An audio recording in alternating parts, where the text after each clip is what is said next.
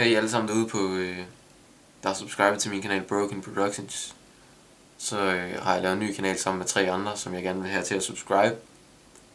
Eller abonnere, som det hedder på dansk. Øhm, jeg har lagt et link nede i øh, description.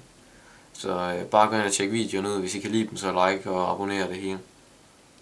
Det var egentlig bare det, jeg har at sige. Den her Broken Productions, den vil jeg ikke rigtig bruge til noget mere. Det var en kanal, jeg engang brugt til at lægge X-Factor video ud, og så sådan forskellige slags videoer, jeg lige gad uploade, men den her nye kanal, det er en lidt mere seriøs kanal, hvor vi går op i copyright, og vi ikke prøver, eller vi prøver at overholde de regler der for at kunne blive partner på et tidspunkt.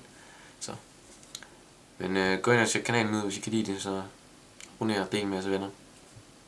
Oliver herfra. Vi ses.